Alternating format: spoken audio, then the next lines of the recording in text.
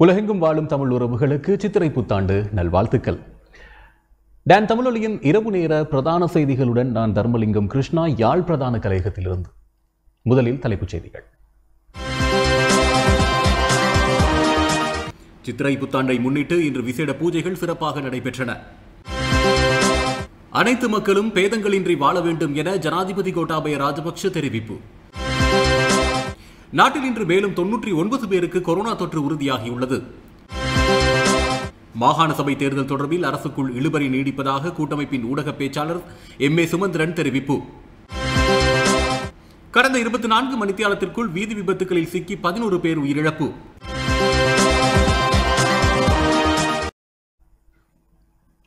இனி முதன்மை செய்திகள்.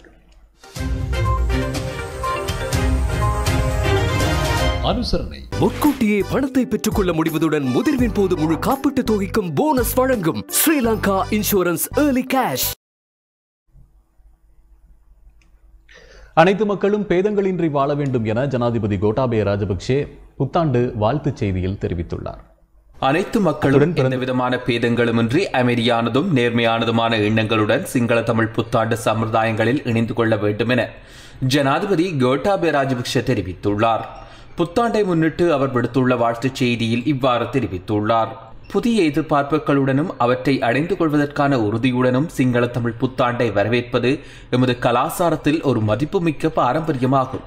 கடந்த வருடம் புத்தாண்டு பிறப்பின் போது நாட்டில் நிலவிய சீரற்ற சுகாதார நிலைமைகள் அதற்கு தடையாக இருந்த போதிலும் பண்டைய பாரம்பரியங்கள் மற்றும் மரபுகளுக்கு முன்னுரிமை அளித்து சுகாதார ஆலோசனைகளுக்கு ஏற்ப புத்தாண்டை மகிழ்ச்சியுடன் அனுபவிக்கக்கூடிய வகையில் இந்த ஆண்டின் பின்னணியை நாம் அனைவரும் சேர்ந்து அமைத்திருக்கின்றோம். அது புத்தாண்டின் விடியலை ஆர்வத்துடன் எதிர்பார்த்திருக்கும் சிறு பிள்ளைகளைப் போலவே அனைத்து குடிமக்களினதும் எதிர்பார்ப்பு நிறைவேறியிருப்பதை காட்டுகின்றது.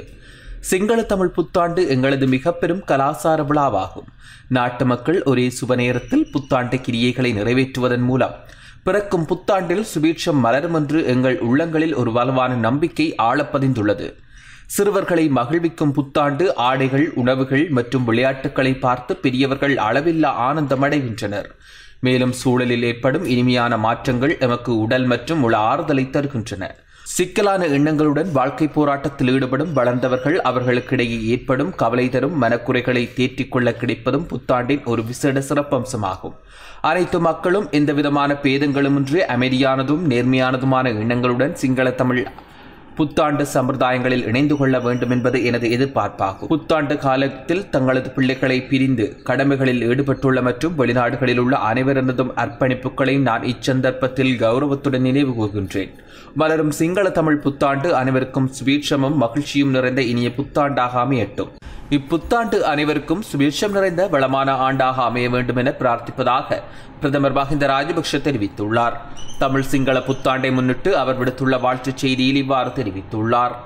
நம் நாட்டு மக்கள் பழங்காலத்திலிருந்தே பழங்கால பழக்க வழக்கங்களுக்கும் மரபுகளுக்கும் முன்னுரிமை அளித்து விழாக்களை கொண்டாடி வருகின்றனர். விவசாயத்தை அடிப்படையாக கொண்டு மக்களுடன் பின்னி பிணைந்திருக்கும் கலாசார ரீதியாக மதிப்புமிக்க சமூக நடைமுறைகள் இந்த தமிழ் சிங்கள புத்தாண்டின் மூலம் நினைவு கூறப்படுகின்றது. அரசாங்கம் வழங்கிய சுகாதார ஆலோசனைகளை பின்பற்றி ஒழுக்கமான மக்கள் என்ற வகையில் நீங்கள் செய்த அர்ப்பணிப்புகள் காரணமாக இப்புத்தாண்டை இந்த அளவிற்கேனும் சுதந்திரமாக கொண்டாட வாய்ப்பு கிடைத்துள்ளது. எனவே சுகாதார நடைமுறைகளை மனதில் கொண்டு நமது கலாச்சார விழுமியங்களை பாதுகாப்பது நம் அனைவரனதும் பொறுப்பாகும். மக்கள் மீது சுமத்தப்படும் சுமையை அரசாங்கம் பொறுப்பேற்று அனைத்து மக்களின் எதிர்காலத்தையும் பலமாக்க அரசாங்கம் செயற்படுகின்றது என்பதை நான் உங்களுக்கு நினைவூட்டுகின்றேன்.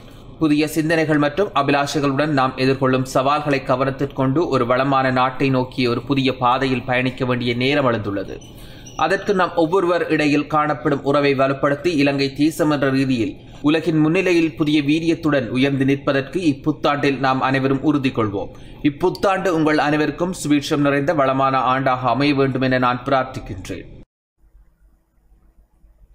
சித்திரை புத்தாண்டை முன்னிட்டு நாட்டின் பல இடங்களில் இன்று விசேட பூஜைகள் சிறப்பாக நடைபெற்றிருந்தன.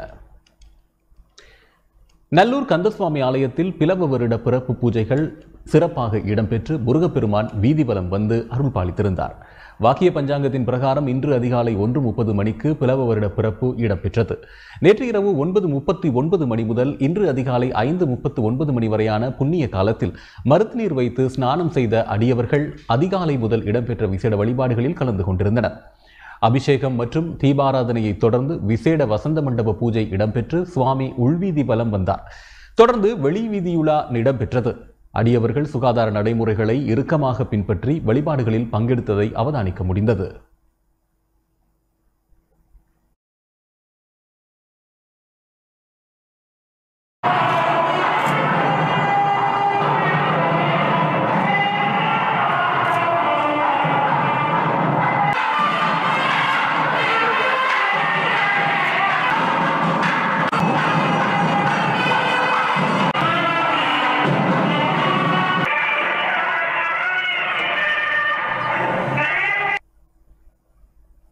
மன்னார் மாவட்டத்தில் வரலாற்று சிறப்புமிக்க பாடல் பெற்ற திருத்தலமான மன்னார் திருக்கேதீஸ்வர ஆலயத்தில் காலை ஏழு நாற்பத்தைந்து மணிக்கு சிறப்பு வழிபாடுகள் இடம்பெற்றிருந்தன.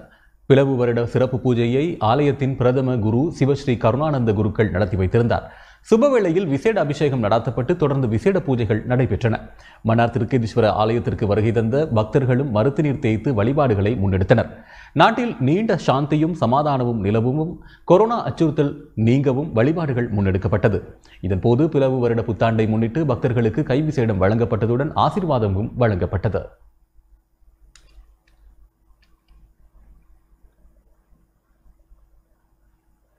முல்லையில் ஒட்டுச்சுட்டான் தான்தோன்றீஸ்வரர் ஆலயத்தில் அமைதியான முறையில் வருடப்பிறப்பு பிரார்த்தனைகள் நடைபெற்றன. ஆலய பிரதம குரு ராஜராம குருக்கள் புதுவருட பிறப்பை முன்னிட்டும் கொரோனா வைரஸ் தொற்றிலிருந்து பொதுமக்கள் காப்பாற்றப்பட வேண்டியும் சிவபெருமானுக்கு அபிஷேகங்களும் பூஜைகளும் அமைதியான முறையில் நடத்தப்பட்டன. பொதுமக்கள் ஆலயங்களுக்கு வழிபாட்டிற்கு செல்வது முழுமையாக மட்டுப்படுத்தப்பட்ட நிலையில் முல்லைத்தீவு மாவட்டத்தில் உள்ள சகல இந்து ஆலயங்களிலும் அமைதியான முறையில் ஆலய பூசகர்களினால் பொதுமக்கள் அற்ற நிலையில் பூசைகள் நடத்தப்பட்டிருந்தன.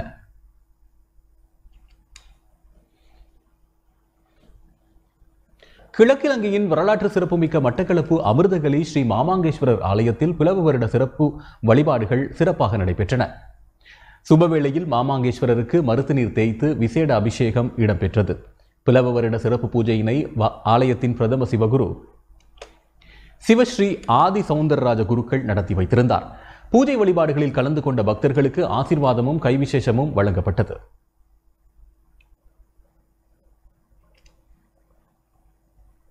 மலர்ந்திருக்கின்ற பிளவ சித்திரை புத்தாண்டு வழிபாடுகளும் உள்வீதி திருவிழாவும் மட்டக்களப்பு கழுதாவளை சுயம்புலிங்க பிள்ளையார் ஆலயத்தில் நடைபெற்றது. மூலமூர்த்தியாகிய சுயம்புலிங்க பிள்ளையாருக்கு பூஜைகள் இடம்பெற்றதுடன் பிள்ளையார் முருகன் வள்ளி சமேதராய் சிவன் பார்வதி சமேதராய் ஆலயத்தின் உள்வீதி வலம் வந்தனர். இதன்போது நூற்றுக்கணக்கான பக்தர்கள் கலந்து கொண்டிருந்ததுடன் ஆலய பிரதம குரு சிவஸ்ரீ சு கு விநாயகமூர்த்தி குருக்களினால் பக்தர்களுக்கு கைவிசேடமும் வழங்கப்பட்டது.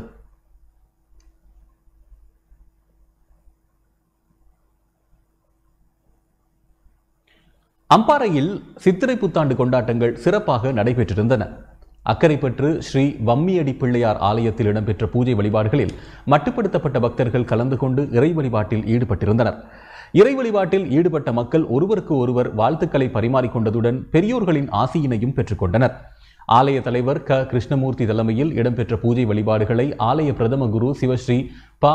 கு. கேதீஸ்வர குருக்கள் நடத்தி வைத்திருந்தார். இதே நேரம் பலர் தமது வழிபாடுகளை வீடுகளில் இருந்தவாறே பொங்கல் பூஜை வழிபாடுகளையும் மேற்கொண்டனர்.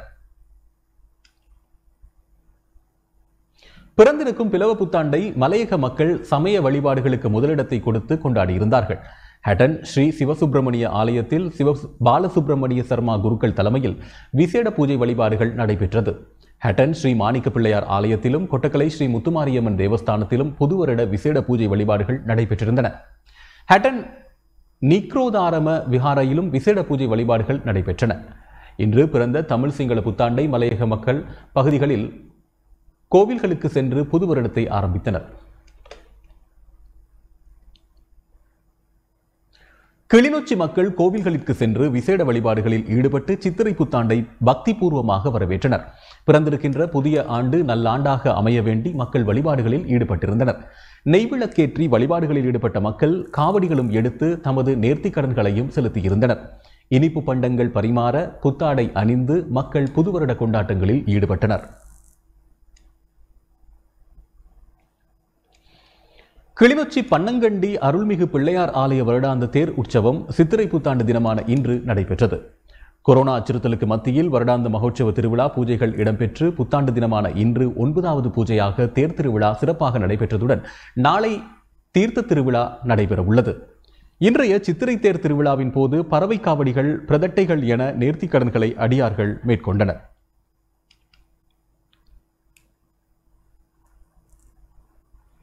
இதனிடையே அலுவலகங்களில் சித்திரை புத்தாண்டு கொண்டாட்டம் முன்னெடுக்கப்பட்டிருந்தது.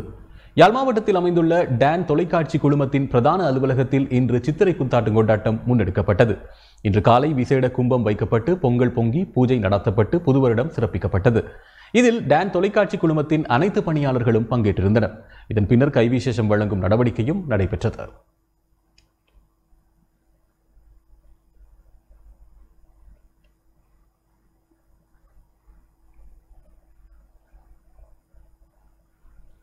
இலங்கை வாழ் மக்களுடன் இணைந்து ஜனாதிபதி கோட்டாபய ராஜபக்ஷ மிரிகானவில் உள்ள தனது இல்லத்தில் புத்தாண்டு சம்பிரதாயங்களை நிறைவேற்றினார்.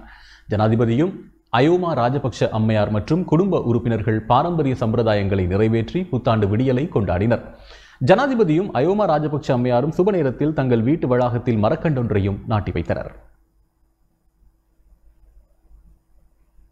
ஆளுங்கட்சியை சேர்ந்த பின்வரிசை நாடாளுமன்ற உறுப்பினர்கள் சிலர் தங்காலையில் உள்ள கால்டன் இல்லத்தில் பிரதமர் மஹிந்த ராஜபக்சவை சந்தித்தனர். புத்தாண்டை முன்னிட்டு இந்த சந்திப்பு நடைபெற்றுள்ளது.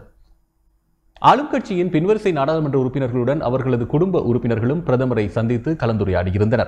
இதன்போது அங்கு வருகை தந்திருந்தவர்கள் உள்ளிட்ட நாட்டு மக்கள் அனைவரும் பிரதமர் தமது புத்தாண்டு வாழ்த்தினை தெரிவித்ததாக பிரதமரின் ஊடகப் பிரிவு குறிப்பிடுகிறது. இலங்கை தமிழரசுக் கட்சியின் புது வருட பொங்கல் விழாவும் கைவிசேட நிகழ்வும் இன்று காலை எட்டு முப்பது மணியளவில் வடமராட்சி மாலுசந்தி தமிழரசு கட்சி அலுவலகத்தில் நடைபெற்றது. நிகழ்வில் நாடாளுமன்ற உறுப்பினரும் ஜனாதிபதி சட்டத்தரணியுமான எம் ஏ சுமந்திரன் பருத்தித்துறை பிரதேச சபை தவிசாளர் ச அரியகுமார் பருத்தித்துறை நகரபிதா எஸ் இருதயராஜா வடமராட்சி தெற்கு மேற்கு பிரதேச சபை தவிசாளர் த ஐங்கரன் மற்றும் இலங்கை தமிழரசுக் கட்சி ஆதரவாளர்கள் பிரதேச சபை உறுப்பினர்கள் என பலர் கலந்து கொண்டிருந்தனர்.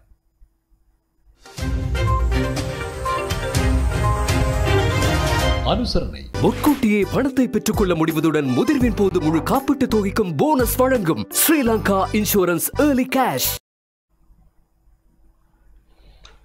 அரசு அதிகாரிகளின் கடமைகளுக்கு இடையூறு விளைவித்ததாக கூறி அசேல சம்பத் விளக்கமறியலில் வைக்கப்பட்டுள்ளார். நேற்று கைது செய்யப்பட்ட அகில இலங்கை சிற்றுண்டிச்சாலை உரிமையாளர்கள் சங்க தலைவர் அசேல சம்பத் விளக்கமறியலில் தொடர்ந்தும் வைக்கப்பட்டுள்ளார். அவரை எதிர்வரும் பத்தொன்பதாம் திகதி வரையில் விளக்கமறியலில் வைக்குமாறு நீதிமன்றம் உத்தரவிடப்பட்டுள்ளது.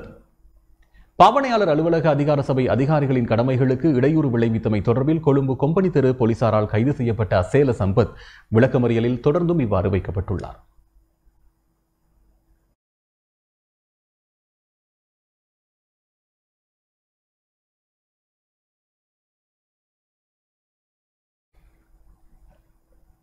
நாட்டில் இன்று மேலும் தொன்னூற்றி ஒன்பது பேருக்கு கொரோனா தொற்று உறுதிப்படுத்தப்பட்டுள்ளது. நாட்டில் கொரோனா தொற்றால் பாதிக்கப்பட்டவர்களின் மொத்த எண்ணிக்கை தொன்னூற்று ஐயாயிரத்து நானூற்று தொன்னூற்று மூன்றாக அதிகரித்துள்ளது. இன்று மேலும் தொன்னூற்றி ஒன்பது பேருக்கு கொரோனா தொற்று உறுதிப்படுத்தப்பட்டுள்ளதாக சுகாதார அமைச்சின் தொற்று நோயியல் பிரிவு தெரிவித்துள்ளது. இந்த தொற்றாளர்கள் அனைவரும் ஏற்கனவே கொரோனா தொற்றுக்கு உள்ளானவர்களுடன் தொடர்பில் இருந்தவர்கள் என ராணுவ தளபதி ஜெனரல் சவேந்திர சில்வா தெரிவித்துள்ளார். இது தொடர்பான அறிக்கையை சுகாதார மேம்பாட்டு பணியகம் இன்று மாலை வெளியிட்டுள்ளது. அதன் அடிப்படையில் கொரோனா தொற்றில் இருந்து இன்று மேலும் இருநூற்றி இருபத்தைந்து பேர் குணமடைந்துள்ளனர். இதனால் தொற்றிலிருந்து குணமடைந்தவர்களின் மொத்த எண்ணிக்கை தொன்னூற்றி இரண்டாயிரத்து நூற்று ஐம்பத்தி ஒன்றாக அதிகரித்துள்ளது. அதனை அடுத்து குணமடைந்தவர்களை தவிர்த்து இரண்டாயிரத்து எழுநூற்று நாற்பது தொற்றாளர்கள் வைத்தியசாலைகள் மற்றும் கொரோனா சிகிச்சை நிலையங்களில் சிகிச்சை பெற்று வருகின்றனர். இருப்பினும் கொரோனா தொற்று சந்தேகத்தில் இருநூற்று அறுபத்தி மூன்று பேர் வைத்திய கண்காணிப்பில் இருந்து வருகின்றனர். இந்த நிலையில் கொரோனா தொற்றுக்குள்ளாகி உயிரிழந்தவர்களின் மொத்த எண்ணிக்கை அறுநூற்று நான்காக அதிகரித்துள்ளது. ரமலான் பண்டிகையை கொண்டாடும் போது முஸ்லிம் பள்ளிவாசல்களில் கடைபிடிக்க வேண்டிய முப்பது சுகாதார பாதுகாப்பு விதிமுறைகள் அடங்கிய சுற்று நிருபம் சுகாதார அமைச்சினால் வெளியிடப்பட்டுள்ளது. சுகாதார சேவைகள் பணிப்பாளர் நாயகம் அசேல குணவர்த்தனவினால் இந்த சுற்று நிருபம் வெளியிடப்பட்டுள்ளது. அதற்கமைய பள்ளிவாசல்களில் பதினெட்டு வயதிற்கும் மேற்பட்டோர் மாத்திரமே வழிபாடுகளுக்கு அனுமதிக்கப்பட வேண்டும். பள்ளிவாசல் வளாகம் உள்ளிட்ட பகுதிகளில் அளவுக்கு அதிகமானோர் கூடுவதற்கு இடமளிக்கப்படக்கூடாது. வழிபாடுகளின் போது நிச்சயம் தனிநபர் இடைவெளி பேணப்பட வேண்டும். சமூக இடைவெளியை கருத்தில் கொண்டு நூறு பேரை விட குறைவானோரே அனுமதிக்கப்பட வேண்டும். நோன்பு காலங்களில் வழங்கப்படும் கஞ்சி இம்முறை வழங்கப்படக்கூடாது. பள்ளிவாசலுக்கு வருகை தருபவர்களுக்கு அடிப்படை சுகாதார விதிமுறைகளை பின்பற்றுவதற்கான ஏற்பாடுகள் செய்து கொடுக்கப்பட்டிருக்க வேண்டும். ஊழியர்களும் அவற்றை கடைபிடிக்க வேண்டும். என சுகாதார அமைச்சினால் வெளியிடப்பட்டுள்ள சுற்று நிருபத்தில் குறிப்பிடப்பட்டுள்ளது. நாட்டில் சில இஸ்லாமிய அமைப்புகளை தடை செய்வதற்கான அதிவிசேட வர்த்தமானி அறிவித்தல் வெளியாகியுள்ளது.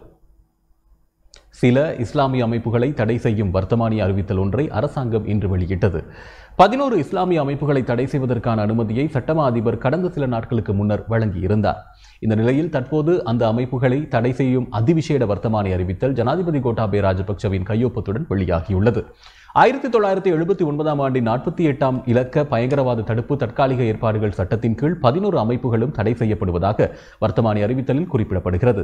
இதன் அடிப்படையில் யுனைடெட் தௌஹீத் ஜமாத் சிலோன் தௌஹீத் ஜமாத் இலங்கை தௌஹீத் ஜமாத் அனைத்து இலங்கை தௌஹீத் ஜமாத் ஜமியத்துல் அன்சாரி சுன்னத்துல் முஹமதியா தாருல் அத்தார் லு ஜமியுல் ஆத்தர் இலங்கை இஸ்லாமிய மாணவர் இயக்கம் ஈராக் மற்றும் சிரியா ஐஎஸ்ஐஎஸ் அமைப்பு al Qaeda save the pearls super Muslim போன்ற பதினோரு அமைப்புகள் தடை செய்யப்பட்டுள்ளன.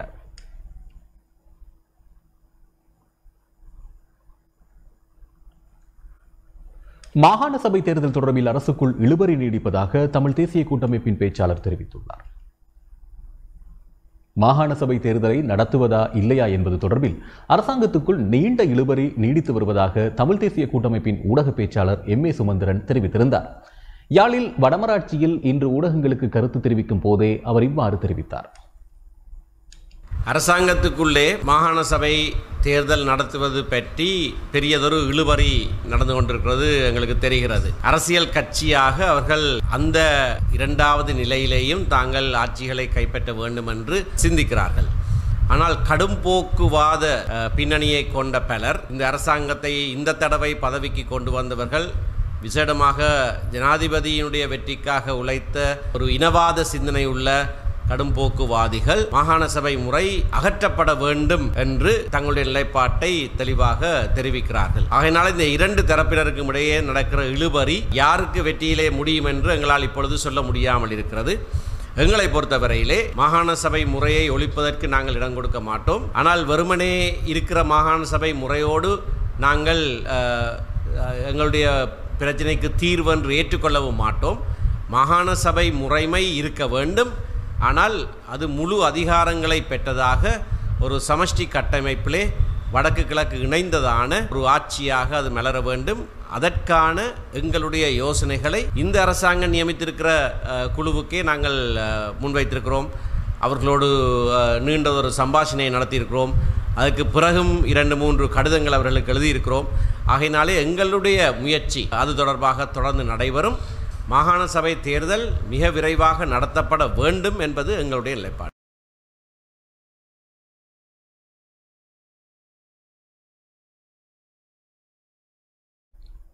இதனிடையே நாடாளுமன்ற உறுப்பினர் எம். ஏ. சுமந்திரன் கொலை முயற்சி தொடர்பில் கைதான சந்தேக நபர்கள் விடுவிக்கப்பட்டுள்ள நிலையில் அது தொடர்பிலும் ஊடகவியலாளர்கள் கேள்வி எழுப்பியிருந்தனர். அரசாங்கத்துக்குள்ளே மாகாண சபை தேர்தல் நடத்துவது பற்றி பெரியதொரு இழுபறி நடந்து கொண்டிருக்கிறது எங்களுக்கு தெரிகிறது. அரசியல் கட்சியாக அவர்கள் அந்த இரண்டாவது நிலையிலேயும் தாங்கள் ஆட்சிகளை கைப்பற்ற வேண்டும் என்று சிந்திக்கிறார்கள். ஆனால் கடும் போக்குவாத பின்னணியை கொண்ட பலர் இந்த அரசாங்கத்தை இந்த தடவை பதவிக்கு கொண்டு வந்தவர்கள் பொது பாதுகாப்பு அமைச்சர் சரத் வீரசேகர சொன்னார் திரு சுமந்திரனுக்கு பாதுகாப்பு அச்சுறுத்தல் இருக்கிறது நான் அவருக்கு எச்சரிக்கை செய்திருக்கிறேன் என்று சொன்னார். அப்புறம் பிப்ரவரி மாதத்திலே நாங்கள் பொத்துவிலிருந்து பொலிகண்டி வரைக்கும் நடைபயணம் செய்து முடிகிற போது என்னுடைய விசேட பாதுகாப்பு அகற்றப்பட்டது. அதை பற்றி எதிர்க்கட்சியினர் பாராளுமன்றத்திலே கேள்வி எழுப்பின போதும் அந்த நாள் மூன்று தடவைகள் அவர் திரும்ப திரும்ப பாராளுமன்றத்திலே சொன்னார். அவருக்கு உயிர் அச்சுறுத்தல் இருக்கிறது. எங்களுடைய ஆராய்ச்சியின்படி அவருக்கு இப்பொழுதும் உயிர் அச்சுறுத்தல் இருக்கிறது. ஆனால் அவர் இந்த நடைபயணத்திலே சென்ற காரணத்தினாலே நாங்கள் இதனை நீக்குகிறோம் என்று சொன்னார். ஆகவே உயிர் அச்சுறுத்தல் இருக்கிறது என்று சொல்லிக்கொண்டே விசேட பாதுகாப்பை அவர் நீக்கின காரணத்தினால்தான் நான் அன்றைக்கே பாராளுமன்றத்திலே சொல்லியிருந்தேன். ஏதாவது நடக்குமாக இருந்தால் அவர் பொறுப்பேற்க வேண்டும் என்று இப்பொழுது சிலரை என்னுடைய பாதுகாப்பை நீக்கி என்னை கொலை செய்ய முயற்சித்தார்கள் என்று அவர்களாகவே இரண்டரை வருடம் வைத்திருந்த பதினோரு பேரை விடுவித்திருக்கிறார்கள். ஆகவே அடுத்தடுத்ததாக என்ன நடக்கும் என்று சொல்ல தெரியாது. இதற்கு முழு பொறுப்பும் சரத் வீரசேகரவும் ஜனாதிபதி பாதுகாப்பு அமைச்சர் என்ற ரீதியிலையும் அரசாங்கம் தான் எடுக்க வேண்டும். சித்திரை புத்தாண்டை முன்னிட்டு குறைந்த வருமானம் பெறும் குடும்பங்களுக்கு அரசாங்கத்தினால் வழங்கப்பட்ட ஐயாயிரம் ரூபாய் கொடுப்பனவுக்கு ராஜாங்க அமைச்சர் சதாசிவம் வியாலேந்திரன் நன்றி தெரிவித்திருந்தார். மட்டக்களப்பு மாவட்டத்தில் கொரோனா தாக்கத்தால் பாதிக்கப்பட்ட சுமார் ஒரு லட்சத்து நாற்பத்தி ஏழாயிரத்து இருநூற்றி நாற்பத்தி ஏழு குடும்பங்களுக்கு கடந்த இரண்டு நாட்களில் எழுபத்து மூன்று கோடியே அறுபத்தி ரெண்டு லட்சத்து முப்பத்தையாயிரம் ரூபாய் நிதி பகிர்ந்தளிக்கப்பட்டுள்ளதாக ராஜாங்க அமைச்சர் சதாசிவம் வியாலேந்திரன் தெரிவித்திருந்தார். இந்த உதவிகளுக்காக ஜனாதிபதிக்கும் பிரதமர் தலைமையிலான அரசாங்கத்திற்கும் நன்றி செலுத்த வேண்டியுள்ளதாகவும் அவர் மேலும் கூறியிருந்தார். அரசாங்கம் இன்று கோவிட் சூழலிலும் ஐயாயிரம் ஐயாயிரமாக நிதியை பாதிக்கப்பட்ட குடும்பங்களுக்கு வழங்கி வழங்கியது. அதைத் தொடர்ந்து இன்று சித்திரை புத்தாண்டை முன்னிட்டு இலங்கையிலே அனைத்து மாவட்டங்களிலும் இருக்கின்ற வறிய குடும்பங்கள் சமுத்தி பயனாளிகளுக்கு இந்த பணம் வழங்கப்படுகிறது. ஆகவே எமது மாவட்டத்தை பொறுத்தளவிற்கு இந்த வேலை திட்டங்கள் மிக வேகமாக முன்னெடுக்கப்பட்டு கொண்டு வருகிறது. ஆகவே நாட்டிலே இந்த அரசாங்கத்தில் இருக்கின்ற ஒரு ராஜாங்க அமைச்சரின் அடிப்படையிலே இந்த வேலை திட்டத்தை ஒரு லட்சத்தி எங்களுடைய மட்டக்களப்பு மாவட்டத்திற்கு வழங்கப்பட்டிருக்கின்ற மொத்த ஐயாயிரம் குடும்பங்கள் ஐயாயிரம் படி வழங்கப்பட்ட குடும்பங்கள் ஒரு லட்சத்தி நாற்பத்தேழாயிரத்தி இருநூற்றி நாற்பத்தி ஏழு குடும்பங்கள். இதுக்கு ஏழு எழுபத்தி மூன்று கோடியே அறுபத்தி ரெண்டு லட்சத்தி முப்பத்தி ஐயாயிரம் நிதி. இந்த ஒரு நிதி ஒதுக்கீடு எமது மாவட்டத்தில் கிடைக்கப்பட்டிருக்கிறது ஆகவே அந்த அடிப்படையில் நாட்டினுடைய மேன்மதங்கிய ஜனாதிபதி கோட்டபய ராஜபக்ச அவர்களுக்கு நான் இந்த இடத்திலே நன்றி கூறுகிறேன்.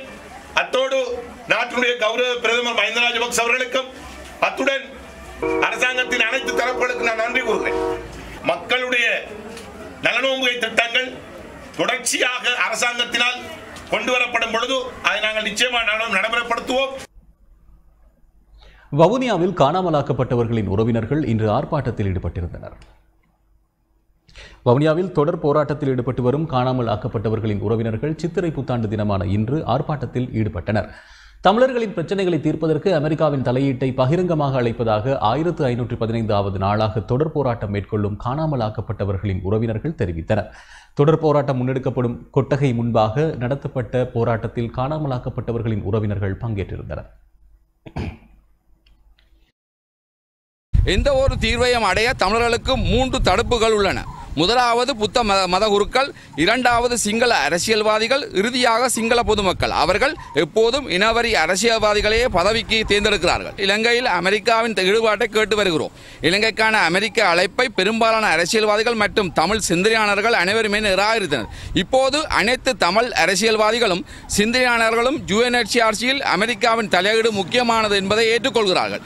எனவே அனைத்து தமிழ் அரசியல்வாதிகளும் தமிழர்களுக்கு அரசியல் ரீதியாக உதவும் காணாமலாக்கப்பட்ட எங்கள் அன்பு அன்புக்குரியவர்களை கண்டுபிடிப்பதற்கும் அமெரிக்காவின் உதவியை பகிரங்கமாக கேட்குமாறு கேட்டுக்கொள்கிறோம். தமிழர்களுக்காக ஆயிரக்கணக்கான அமெரிக்க கொடிகளுடன் பொத்துவில் முதல் பொலிவண்டி வரையான மற்றொரு பாரிய ஆர்ப்பாட்டம் ஒன்று தேவை என்பதை தமிழ் தலைவர்கள் உணர வேண்டும். எங்களுக்கு ஒரு முடிவும் இல்லாத நிலைமையில நாங்க இவ்வளவு காலமாகவும் இருக்கிறோம். அட்டவாசி அரசியல்வாதிகள் தான் பிள்ளைகளை விட வேணாண்டு மறிச்சு வச்சு கொண்டு இருக்கிறார்கள். எங்கட சொத்து பிள்ளைகள் சொத்து தான் எங்களுக்கு. வேற எந்த சொத்தும் எங்களுக்கு தேவையில்லை. எல்லாம் அழிச்சிங்க. உயிரோட உள்ள பிள்ளைகள் எங்களுக்கு வேணும். மைத்ரி பாலாவோட இருக்கிற பிள்ளைகள் ஆதாரம் காட்டி கூட இன்னும் விடுறதுக்கு உங்களுக்கு மனம் வர இல்லை. எங்களுக்கு செட்டியான ஒரு தீர்வு திட்டம் எடுத்தாங்க. மன்னாரிற்கு கடத்தி வரப்பட்ட ஆயிரத்து தொள்ளாயிரத்து எண்பத்தி ஒன்பது கிலோ மஞ்சள் கட்டி மூட்டைகளுடன் ஐந்து பேர் கைது செய்யப்பட்டுள்ளனர். யாழ்ப்பாணத்திலிருந்து மன்னாருக்கு கடத்தி வரப்பட்ட ஆயிரத்து தொள்ளாயிரத்து எண்பத்தி ஒன்பது கிலோகிராம் மஞ்சள் கட்டி மூடைகளுடன் மன்னாரைச் சேர்ந்த ஐந்து பேர் இன்று மூன்றாம் பிட்டி பகுதியில் வைத்து போலீசாரால் கைது செய்யப்பட்டனர். யாழ்ப்பாணத்தில் இருந்து மன்னாருக்கு மஞ்சள் கட்டி மூட்டைகளை கடத்தப்படுவதற்காக இலுப்பை கடவை போலீசாருக்கு கிடைக்கப்பெற்ற தகவலின் அடிப்படையிலேயே விரைந்து செயல்பட்ட போலீசார் மூன்றாம் பெட்டியில் குறித்த சந்தேக நபர்களை கைது செய்தனர். மஞ்சள் கடத்தலுக்கு பயன்படுத்தப்பட்ட வாகனத்தையும் போலீசார் பறிமுதல் செய்தனர். சமாந்துரை டிப்போ தொடர்பில் மேற்கொள்ளப்பட்டு வந்த சுழற்சி முறையிலான போராட்டம் தற்காலிகமாக நிறுத்தப்பட்டுள்ளது. புனித நோன்பு தினம் ஆரம்பமாகியுள்ளதால் சமாந்துரை டிப்போ தொடர்பில் மேற்கொள்ளப்பட்டு வந்த சுழற்சி முறையிலான போராட்டம் ஒன்பதாவது நாளில் தற்காலிகமாக நிறுத்தப்படுவதாக ஏற்பாட்டாளர்கள் அறிவித்தனர்.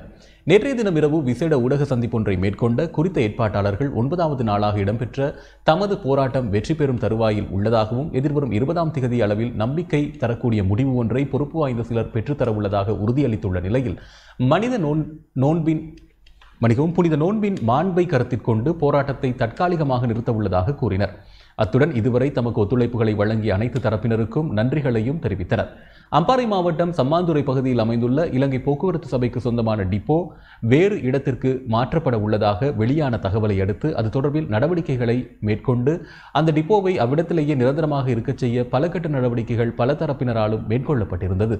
எனினும் அவை வெற்றியளிக்காமையால் இலங்கை போக்குவரத்து சபைக்கு சொந்தமான டிப்போவை அங்கேயே நிரந்தரமாக வைத்திருக்குமாறு கோரி சமாந்துறை வாழ் மக்கள் ஒன்பது நாட்களாக பேருந்து சாலைக்கு அண்மையில் இரண்டு சத்தியாகிரக போராட்டத்தில் ஈடுபட்டிருந்தனர். இந்நிலையில் அதற்கு வலுச்சேர்க்கும் வகையில் கையெழுத்து வேட்டை உள்ளிட்ட பல செயற்பாடுகளை முன்னெடுத்திருந்தனர். கடந்த போராட்டத்தில் கலந்து கொண்ட இளைஞர் பாராளுமன்ற உறுப்பினர் அமீர் அப்னான் உட்பட இளைஞர்கள் இச்செற்பாட்டில் ஈடுபடுத்தப்பட்டுள்ளதுடன் இவ்விடயம் குறித்து அரசாங்க அதிபர் போக்குவரத்து அமைச்சர் பிரதமர் ஜனாதிபதி ஆகியோருக்கு கடிதம் ஊடாக அறிவித்துள்ளதாக குறிப்பிட்டுள்ளனர்.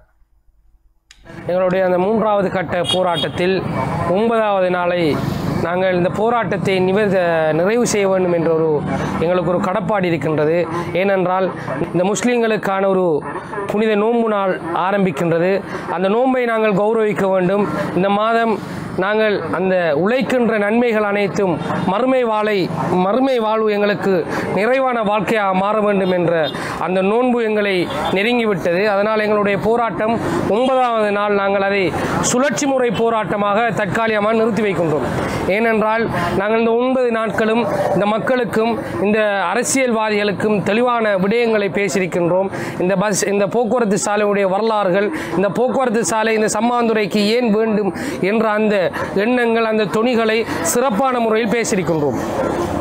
நாங்கள் இந்த போராட்டத்தை நிறைவு செய்வதற்கு முதல் கண் காரணம் என்னவென்றால் நாங்கள் கடந்த மூன்று நான்கு தினங்களுக்குள் இதனுடைய அதிகாரிகள் இதற்கான பொறுப்பான அந்த உயர் அதிகாரிகளை நாங்கள் சந்தித்திருந்தோம். எங்களுக்கு சரியான வாக்குறுதிகள் அந்த வகுதாக்கள் எங்களுக்கு கிடைக்க பெற்றிருக்கின்றது அந்த வகுதாக்களின் அந்த வாக்குறுதியின் பிரதிபலமாக எங்களுடைய இந்த புனித நோன்பையும் நாங்கள் எதிர்கொண்டு இந்த போராட்டத்தை இன்று சுழற்சி முறையில் நிறைவு செய்வதற்கு வந்திருக்கின்றோம். இன்ஷா அல்லாஹ் எங்களுடைய சாலை எங்களுக்கு கிடைக்கவில்லை என்றால் எங்களுடைய சாலை எங்களுக்கு எட்டவில்லை என்றால் எங்களுடைய போராட்டம் மீண்டும் ஒரு சுழற்சி முறை போராட்டமாக பாரிய ஒரு போராட்டமாக வெடிக்கும் என்று. ஏனென்றால் எங்கள் அண்டிய பிரதேசங்களில் உள்ள மக்களுக்கும் நாங்கள் தெளிவுகளை பயன்படுத்தி அந்த தெளிவு மூலமாக இந்த இவ்விடத்தில் அழைத்து மீண்டும் நாங்கள் ஒரு குறிப்பிட்ட தினங்களுக்கு அப்பால் எங்களுடைய அந்த வருகின்ற பதினைந்து பதினாறு பதினேழு பதினெட்டு பத்தொன்பது இருபது காலப்பகுதிக்குள் வர இந்த மாதம் பத்தொன்பது இருபது காலப்பகுதிக்குள் எங்களுடைய சாலை எங்களுக்கு வரும் என்ற ஒரு நம்பிக்கை எங்களுக்கு அந்த வாக்குறுதி எங்களுக்கு கிடைக்கப்பெற்றிருக்கின்றது. அதை நாங்கள் நிச்சயமாக நம்ம கடந்த இருபத்தி நான்கு மணித்தியாலத்திற்குள் வீதி விபத்துகளில் சிக்கி பதினோரு பேர் உயிரிழந்துள்ளதாக போலீஸ் ஊடக பேச்சாளர் அஜித் ரோஹன தெரிவித்துள்ளார். சித்திரை புத்தாண்டு தினமான இன்று வீதி விபத்துக்களை கட்டுப்படுத்த போலீசார் விசேட சோதனை நடவடிக்கைகளை மேற்கொண்டுள்ளதாக போலீஸ் ஊடக பேச்சாளர் அஜித் ரோஹன தெரிவித்திருந்தார். வீதி விபத்துக்கள் காரணமாக இன்று காலை ஆறு மணியுடன் நிறைவடைந்த இருபத்தி நான்கு மணித்தியாலத்திற்குள் பதினோரு பேர் உயிரிழந்துள்ளனர். நேற்று இடம்பெற்ற விபத்தில் சிக்கிய ஆறு பேரும் அதற்கு முன்னர் இடம்பெற்ற விபத்துகளில் சிக்கி காயமடைந்திருந்த ஐந்து பேரும் உயிரிழந்துள்ளனர். மோட்டார் சைக்கிளில் பயணிக்காத மணிக்கும் பயணித்தவர்கள் மாத்திரம் எட்டு பேர் உயிரிழந்துள்ளனர். நாட்டில் ஏப்ரல் மாதத்திலேயே அதிகளவான வாகன விபத்துகள் பதிவாகி வருகின்றன. அதனை தவிர்ப்பதற்காக போலீஸ் தலைமையகம் விசேட சோதனை நடவடிக்கைகளை முன்னெடுத்து வருகிறது. அதற்கமைய இன்று காலை ஆறு மணி முதல் நாளை காலை ஆறு மணி வரை விசேட சோதனை நடவடிக்கைகள் இடம்பெறுகின்றன. வாகன சாரதிகள் அதிக வேகத்தில் பயணிப்பதை தவிர்த்துக் கொள்வதுடன் வாகனங்களின் அளவை விடவும் அதிகளவான பயணிகளை ஏற்றிச் செல்வதையும் தவிர்க்க வேண்டும். மதுபோதையில் வாகனங்களை செலுத்தும் சாரதிகள் தொடர்பிலும் கண்காணிப்பு நடவடிக்கைகள் மேற்கொள்ளப்படும். அதற்கமைய மதுபோதையில் வாகனம் செலுத்தும் சாரதிகள் அடையாளம் காணப்பட்டால் அவர்களை போலீசார் கைது செய்வதுடன் அவர்களுக்கு போலீசார் பிணை வழங்க மாட்டார்கள். அவர்கள் அனைவரும் நீதவான் நீதிமன்றத்தில் முன்னிலைப்படுத்தப்படுவதுடன் அவர்களது வாகனம் பறிமுதல் செய்யப்படும் எனவும் குறிப்பிட்டுள்ளார்.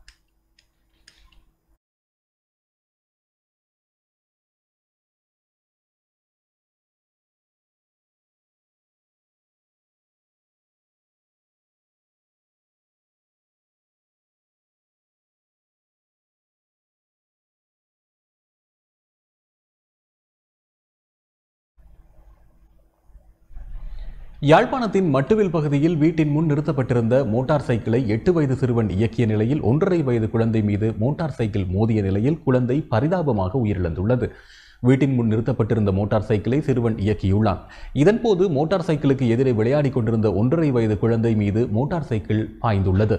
இதனை அடுத்து குழந்தை வைத்தியசாலையில் அனுமதிக்கப்பட்ட போதும் உயிரிழந்துள்ளது இந்த சம் உயிரிழந்துள்ளது. இந்த சம்பவத்தில் உயிரிழந்த குழந்தை எட்டு வயது சிறுவனின் சகோதரியாகும். இந்த நிலையில் போலீசார் விசாரணை மேற்கொண்டு வருகின்றனர்.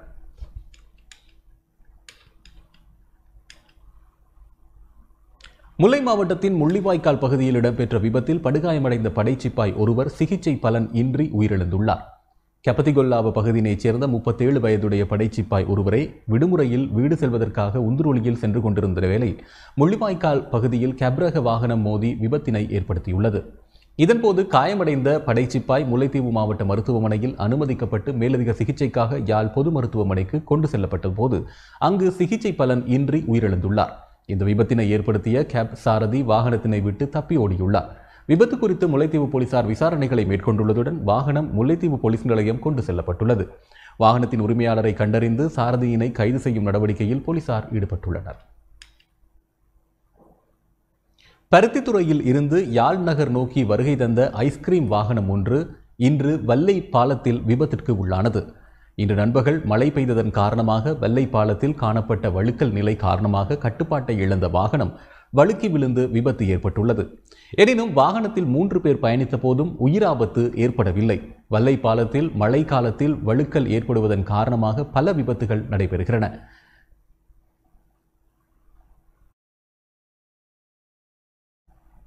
புத்தாண்டை முன்னிட்டு வழங்கப்பட்ட ஐயாயிரம் ரூபாய் கொடுப்பனவை பெற்றுக்கொள்ள முடியாமல் போனவர்கள் நாளைய தினம் பெற்றுக்கொள்ள முடியும் என அரசாங்கம் அறிவித்துள்ளது. சித்திரை புத்தாண்டை முன்னிட்டு குறைந்த வருமானம் பெறும் குடும்பங்களுக்காக வழங்கப்படும் ஐயாயிரம் ரூபாய் கொடுப்பனவு பெற்றுக்கொள்ள முடியாமல் போனவர்களுக்கு நாளை நிதியை வழங்க ஒழுங்குகள் மேற்கொள்ளப்பட்டுள்ளதாக சமுர்தி அபிவிருத்தி திணைக்களம் தெரிவித்துள்ளது. கரோனா வைரஸ் தொற்று பரவல் தாக்கத்தினால் பாதிப்புக்கு உள்ளான குறைந்த வருமானம் பெறும் குடும்பங்களுக்கு ஐயாயிரம் ரூபாய் கொடுப்பனவை வழங்கும் வேலை திட்டம் நாடளாவிய ரீதியில் முன்னெடுக்கப்படுகிறது. ஏழு பிரிவுகளைச் சேர்ந்த பயனாளிகள் ஐயாயிரம் ரூபாவை பெறுவதற்கு தகுதி பெற்றுள்ளனர். இந்த கொடுப்பனவு ஒரு பயனாளி குடும்பத்திற்கு ஒரு பிரிவின் கீழ் மட்டுமே வழங்கப்படும் என கொடுப்பனவு தொடர்பான சுற்றறிக்கையில் குறிப்பிடப்படுகிறது. சத்தோசா நிறுவனம் இருபத்தி ஏழு பொருட்களுக்கான சலுகை நடவடிக்கையை மேலும் மூன்று மாதங்களுக்கு அமுல்படுத்த எதிர்பார்த்துள்ளது. சத்தோச நிறுவனம் இருபத்தேழு பொருட்களுக்கு சலுகை வழங்குகின்ற நிலையில் நுகர்வோரின் கோரிக்கைக்கு அமைய மேலும் மூன்று மாதங்களுக்கு சலுகை நடவடிக்கையை அமுல்படுத்த எதிர்பார்த்துள்ளதாக சத்தோச நிறுவனத்தின் உபதலைவர் துஷார திசாநாயக்க தெரிவித்துள்ளார். பண்டிகை காலத்தில் குறைந்த விலையில் பொருட்களை வழங்கி வருவதன் மூலம் நுகர்வோரை ஏனைய வியாபாரிகளால் ஏமாற்ற முடியவில்லை. சந்தையின் தீர்மானமிக்க சக்தியாக சத்தோசா நிறுவனம் செயற்படுகிறது. சலுகை பொதிக்கு பாரிய கிராக்கி நிலவுகிறது என சத்தோஷ நிறுவனத்தின் உபதலைவர் துஷார திசாநாயக்க மேலும் குறிப்பிட்டிருந்தார்.